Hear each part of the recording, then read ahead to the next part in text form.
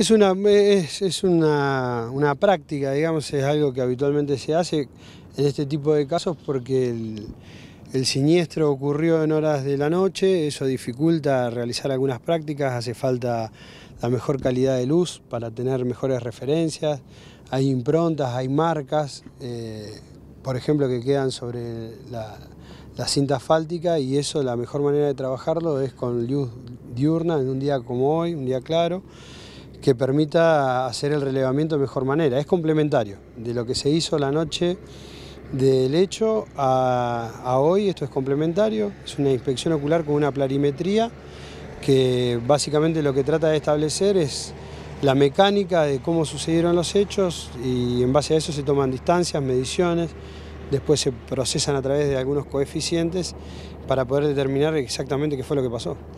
Em, ¿Cuál es la situación concretamente con la causa en este momento? ¿Cómo se ha caratulado en definitiva? Estamos justamente en trámite de ello porque es una investigación preliminar.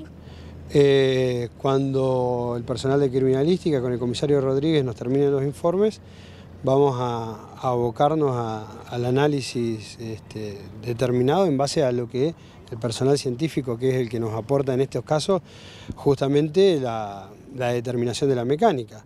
Básicamente lo que se busca en este caso es establecer si hay una, violación al deber de cuidado por eh, alguna de las partes, determinar quién y eh, en base a eso, si, es, este, si corresponde, se hará, se hará una imputación y una investigación penal. ¿Cuál es el estado de salud de la persona que manejaba la camioneta? ¿Usted tiene conocimiento de eso? ¿Cómo ha quedado justamente él? Está siendo evaluado por el cuerpo médico forense, que se comunica en realidad con los médicos de la terapia, está en una situación de terapia, eh, y sí, se va monitoreando la evolución, porque eventualmente si hay alguna diligencia que hacer con su presencia, primero se va a esperar a que se recupere eh, su estado de salud y después este, en aquel momento eh, se lo citará si corresponde.